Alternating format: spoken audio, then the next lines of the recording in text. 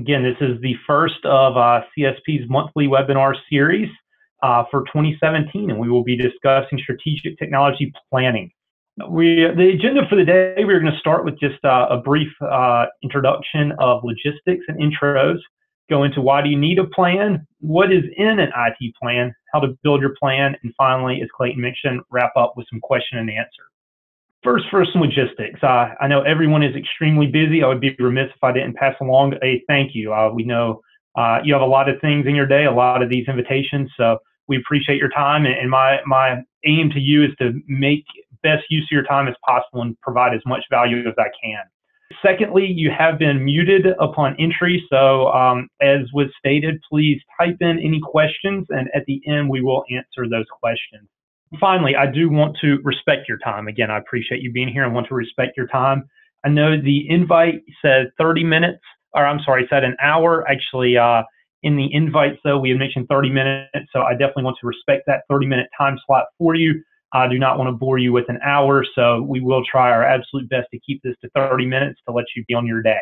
And, and also, though, before I dive in, one, as I'm terming it, mea culpa.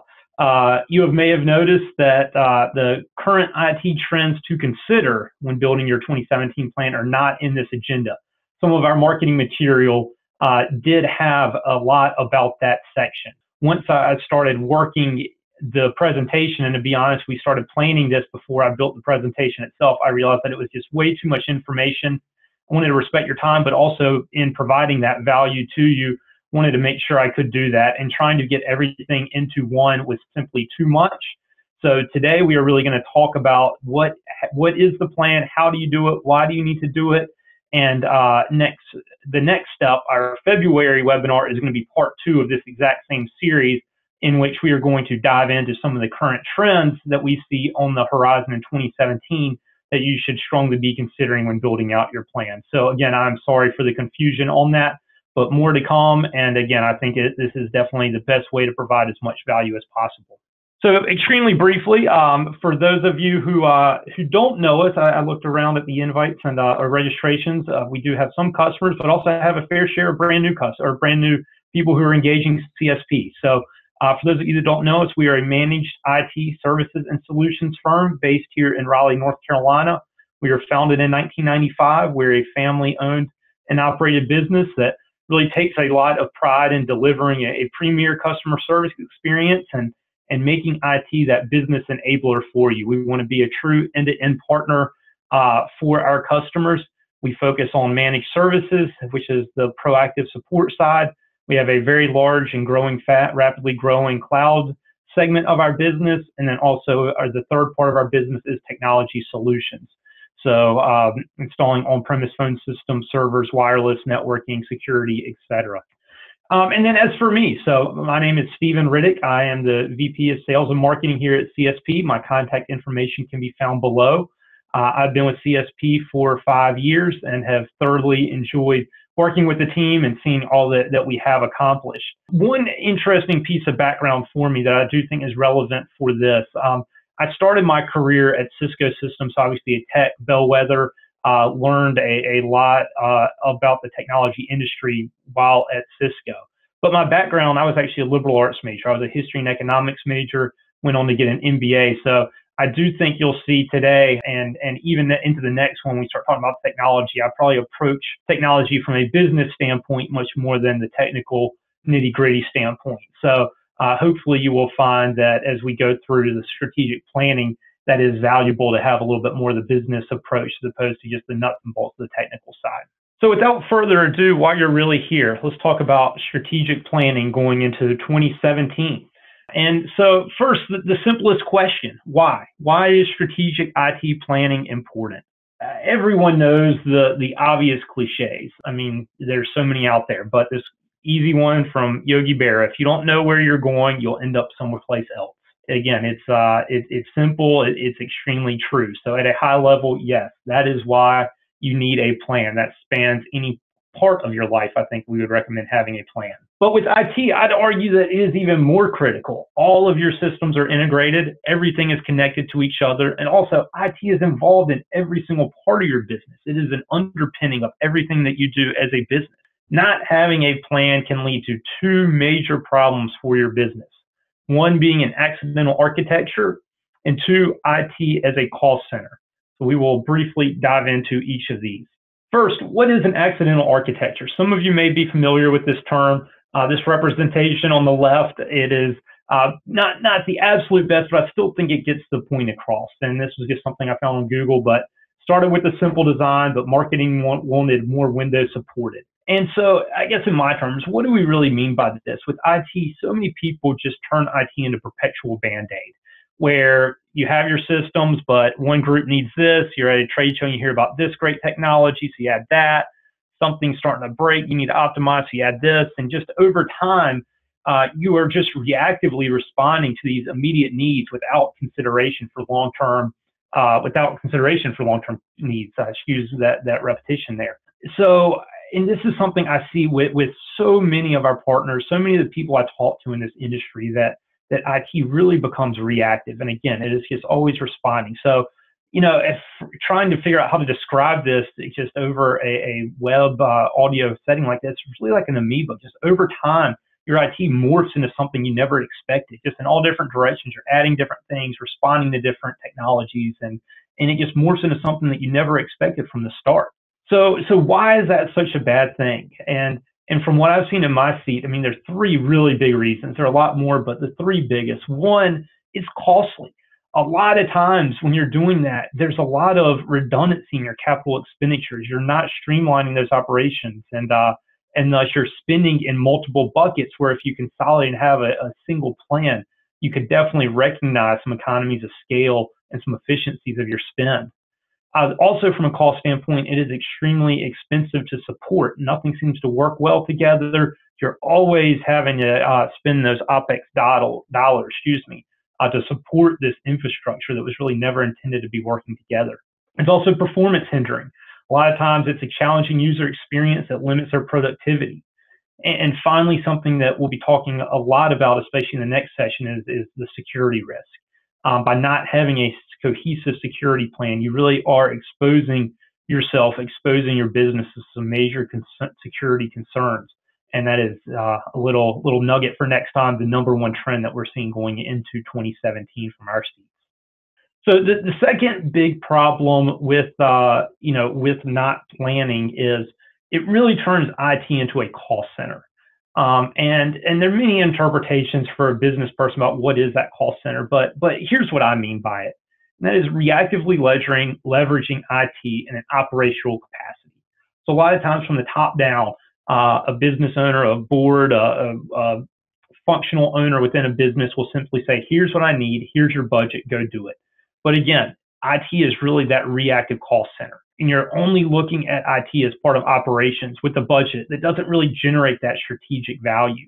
And I think something you'll see as we move forward, I think IT has changed so much that getting it more in the forefront, not just of an IT plan, but of your strategic plan can really unleash the power of IT within your organization and leverage IT um, at, at, the forefront. Um, you know, and I think the best examples of that, there's, there's so many, but, and you hear them all the time, but say a, a blockbuster versus a Netflix, for example.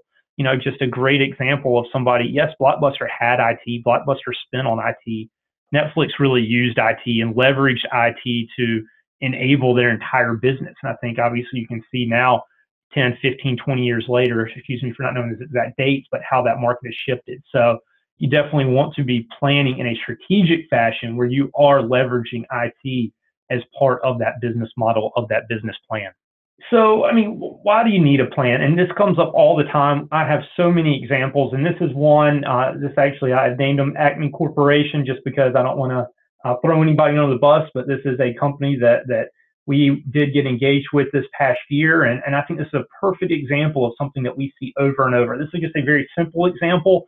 Uh, it doesn't really get into the strategic nature that I was just speaking of, but really the accidental architecture and just not having a plan. So a, a company, Acme Corporation, has a 35 users in a single office. In 2015, that organization realized that they had an old PBX, an old phone system that was going end of life. So the office manager who's in charge of phones decided that they needed to renew their PRI, that's their circuit to get the phone calls, three years on that contract and upgraded their phone system, uh, 25K. It was a fairly baseline phone system. So fairly, fairly simple solution, one would think. Then in 2016, the CE moves forward and says, you know what, there's a lot of reasons we need to be moving our operations into the cloud. So they move do a major project and move their servers into the cloud. Well, in order to do this, Acme Corporation bought a 50 by 50 fiber pipe. So again, that's fine. You need that large fiber pipe if you're going to be moving into the cloud. Honestly, at, at first glance, it probably seems harmless. I mean, these are two different systems, right? I mean, so what what's the big deal? The big deal really is the the twenty five thousand dollars. If you're strategically thinking ahead, strategically laying out that plan five years in advance and knowing what's coming down the pipe, this organization would have realized that okay, well, the fiber in the cloud, the fiber that we need for the cloud is big enough, is robust enough, high performing enough that that could easily handle our traffic for a hosted voice solution as well. So a hosted voice solution would cost roughly the same amount as the PRI. There was no need they needed to renew that PRI for another three years at the $750 on a monthly basis. That 25k capex spend in 2015, excuse me, was was a completely avoidable expenditure for them. And again, that is a very, very simple example, but just something that thinking of more than just a year out, but thinking multiple years in advance can be so important and uh, so valuable for your organization. So obviously, I mean, we would argue that there is a better way to do it, and the better way is just ahead. So, so let me start with with one quick preface, in that I understand. I mean, budgets are paramount, and when I talk to a lot of people, they don't admit this at first, but the more that I talk to them, one of the biggest reasons that I think people don't plan is because they're scared.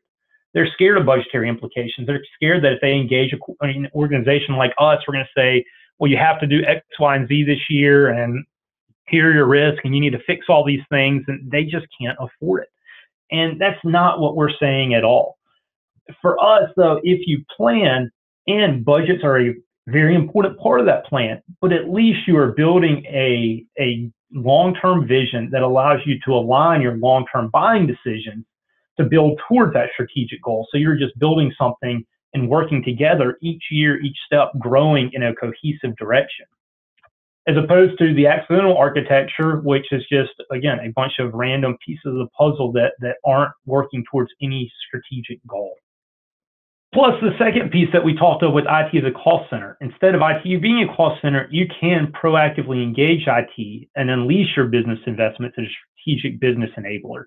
So uh, that is something we will dive into more here momentarily as well. But what I was speaking of earlier, really leveraging IT as part of your business plan and not just IT as something that's an afterthought for you. So next, what is in that IT plan? When I look at, at building strategic plans, a lot of people throw around the word strategic very loosely, very casually, and just say we're doing strategic planning. Well, to me, there are really three tiers of quote unquote strategic planning that I see, and really, I guess, planning that I see out there. And that bottom piece of the pyramid is something that I feel like so many people get confused when they talk about strategic planning. Really, they're just doing maintenance planning. They're looking at their list of inventory, they're saying, I have these devices, these PCs. I need to refresh my PCs every so many years. My server uh, software is going into support here in two years, so I need a plan for that.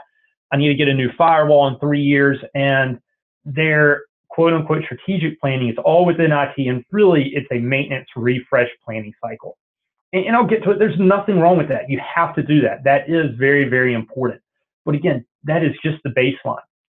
So the next step up the totem pole is the risk planning. And I would say some customers or, or some companies, excuse me, not just customers, but some companies uh, do better about at least taking a step up and engaging more business level uh, discussions, but from risk planning. What are my corporate risks and how can IT help me in that? What do I need to be doing from a strategic level uh, at a corporate level to engage IT to mitigate my risk? And that's something, again, I would say better than just maintenance planning. Of some companies do it better than others, but again, they're starting to use IT a little bit more strategically. But then the final thing that, that is very, very challenging for a lot of customers, but I think where you really start to see the value of ID, of IT is to truly engage IT at the strategic level, at the board level, at the corporate vision level. When you're laying out that corporate vision, letting IT be a part of those discussions as well. Again, it's something I said earlier, not simply an afterthought. So uh, just a little bit more detail here in each, obviously, and to start again at the bottom, moving up, the maintenance planning, properly managing for your refresh cycles for performance, budgeting and IT risk mitigation. So it's really all within IT. Risk planning, leveraging IT to help mitigate your corporate risk. So again, that's more the business level, engaging business executives. Maybe, if, for example, if you realize that your business continuity plan, you can only be down for X amount of time, you engage IT and you say, okay, here is a business objective of ours. How can we fix that? That is the type of risk planning that has to initiate on the business side. IT can't just build a business continuity plan without knowing what are the business goals in place. So that's that next step up. But then the final one, again, as I said, the strategic IT planning, seamlessly integrating with corporate with your corporate plan, and that's when you really are able to see IT as that business enabler and not IT as a call center. And and I know I was alluding to it as we went, but a word to the wise, please don't confuse maintenance planning with strategic planning. Two totally different concepts. Again, you need to do maintenance. I'm not saying that's not important. And at the very least, if all you're doing is maintenance, at least take that next step to that next level and make sure you knock out maintenance and risk planning. I think that's an important part of the discussion. So, how do you create an IT plan? And I think one disclaimer before I go into this I mean, there are, are books, there are entire MBA degrees built around strategy. So it is a travesty to attempt to solve this riddle in a few short slides, but it is something that that I'm going to to try to do today. So Stephen's way too simplified steps to strategic planning. At the highest, highest, highest level, you need to understand where are you now. You need to understand where are you going, and then figure out how do you get there. What are the steps that you need to take? That seems so simplified. I know it is, but at the same time, I feel like it is an important starting point because I feel like too many people get overwhelmed by the by the mass that can be strategic planning. So at the highest level, I really do think this is a great starting point for you and for your organization. So where, where I want to spend a, a, lot, the meat of the, the rest of our, our short time that we have today is really trying to figure out, well, how do we accomplish this? So the where are you now? Um, and I'm sorry, I do know this is a little bit of a busy slide, but I think it's a very important one. Where are you now? Um, maintenance, or from an IT perspective, again, that, that bottom one, maintenance planning. Ultimately, you got to start with just doing an audit of your IT infrastructure, understanding what you have. This is something I'm always amazed at when we go and talking with people who maybe aren't customers, but talking with companies out there where I simply ask them for a network diagram and, and they're not able to produce that or ask, hey, do you have a, an asset list to just see how old some of your gear is, what type of software is running on your gear? Not having stuff like that, that is the very baseline. You have to understand what you have. I, I intentionally and, and do not want to make this a sales pitch. I want to make this an informational session for you. Whether it's us, whether it's somebody else, though, or whether you're investing in the tools yourself, get the tools required for you to be able to see this. Feel free to reach out to us. We have a plethora of different tools that we can do to be able to understand what you have from an IT perspective. It's uh, not too challenging to do and something that I would highly recommend. So the next part of the where are you now to take it to that next level up is from a business standpoint and, and then the risk. And, and that's, you know, perform a risk assessment, establish a SWOT. What, how are you doing as a business? Where are your business vulnerabilities? And again, part of this is understanding your IT vulnerabilities, but also is understanding your business vulnerabilities. Again, business continuity, I know I mentioned that earlier, but that's a great example. What are your security protocols? What do you do? Uh, what are your security policies? And and this is a much more of a consultative engagement. A firm like us or many others similar to us can do that if you don't have the expertise in house. But Whereas the, the top line, I would say, maintenance, that's a pretty simple audit that you can do. Again, I'm not going to say it's, it takes no time, but it's relatively easy. At the business level, probably need what we term more of an assessment get a little bit deeper into the weeds, start to look outside of just IT, interview different people, understand how they use IT, understand where they're going, how they're securing themselves, and things like that. And then the final piece from from uh, you know understanding where you are now, it's really looking at the strategic vision of the company and analyzing your MVP, your mission, your, your vision, your value proposition, um, and looking at the five-year plan and just starting there. I, I, I hope, I imagine a lot of companies have those. Uh, if you don't, I, I think you need to really start there, but at least understand, okay, as a company, where are we heading? So I can then start to think, okay, how do I need to be thinking about IT as a way to get me there?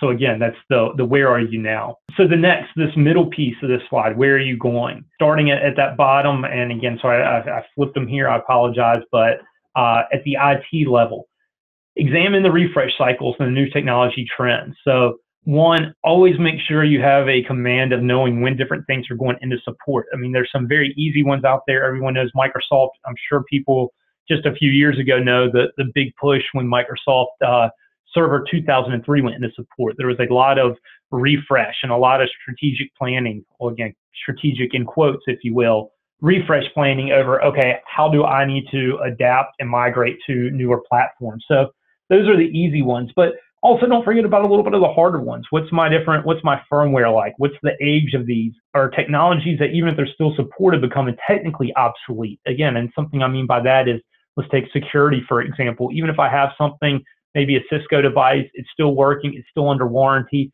but it's been in there for five years. Has the technology changed so much in five years that I need to look at, consider upgrading that technology just to make sure that I'm properly securing myself, maybe from a firewall perspective?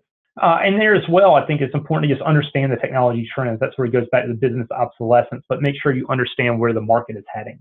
So then moving to, to the next step from where are you going at the business level, you know, I think it's important to take that SWOT and then set business expectations, engage the IT team, and together identify ways to mitigate that risk. So, a conversation that I have all the time with people, um, with IT people, is feeling trapped because they don't know the business goal or the business objective or the business expectation. So, again, let's just take that, let's take uh, disaster recovery, let's take up your backup solution. The business ultimately really needs to decide how long do I need to be keeping my data for? how long, whether it's compliancy purposes, whether it's regulatory purposes, whether it's just how long do I need to be able to feel comfortable that I can run my business? What are my time parameters? What are my expectations? What's my business loss if we go down? How fast do I need to be back up? IT can't just design a, a backup and disaster recovery plan without having some of that business input. So here again, IT and business working together to identify ways to mitigate the risk and really understand the business expectations. And for the strategic, um, as part of business planning, provide consultative, proactive guidance on how IT can drive the business. So without saying it sounding cheesy, give give IT a seat at the table in some of the very high level conversations of your business. Uh, it's much more a consult consultative discussion, not getting into the weeds, but just understanding where's my industry going, how can technology be leveraged to make sure I am doing the best things I can to maximize my productivity, increase my revenue, create a more efficient way to work for my people and stay on top of these paradigm shifts that we see in the industry all the time and staying one step ahead and not turning into, say, a blockbuster um, who, who is, you know, left a step behind. So finally, how do you get there? At this point, really all three of these need to come together for the, for the cohesive single plan. You need to be identifying the, the strategic objectives, identify the short-term goals and priorities and objectives, you know, deliver action items, build scorecards, and ultimately execute, continue to check in. And that's not something we, we have the time, or I, I doubt any of you have a lot of the, the concern of how to get too deep into those details or weeds there. But again, I think the execution is something that just uh, you need to set the objectives, set the goals, priorities, set the action items to ultimately get there and then track it. And, and there at the bottom, again, I know I've said this, but I, I just to reiterate yet again, I mean, don't forget IT, both, and, and when I say IT, I mean your internal IT department or partners such as us. I mean, we can handle the maintenance planning very well. So we can build a maintenance plan for you. What we can't do is really go up to those next two levels without some business input. The more buy-in you need from the business leaders. So whether you're in technology, don't forget that you need to be asking your business leaders those questions whether you are a business leader, don't forget that you need to be giving direction. Again, not to say, hey, I need this many gigs or this much RAM, or not the technical thing, but say, hey, what are the business requirements that I need my IT to have? Uh, and I think that's something extremely important to make sure everyone is working well together moving forward. So, with that said, um, thank you so much for attending. It is 1027. As said, I did want to keep this under 30 minutes to respect your time. And so Thank you for, uh, for, for hosting us today. To everyone who joined, thank you so much for your time. We definitely appreciate it. I hope you found this valuable. Please know too, we're always trying to improve, always trying to learn. We did, uh, we started this last year where we had four of these webinars, one a quarter last year. Honestly, they got really good reviews and really good feedback. So this year we decided to up them to two a quarter. Um, so eight total this year. But um, any feedback is always welcome. What things, topics you would like us to discuss, questions you may have, ways that we can improve these webinars, uh, open to feedback. And again, thank you so much for your time today. Enjoy the rest of your day. And uh, we look forward to working with you soon.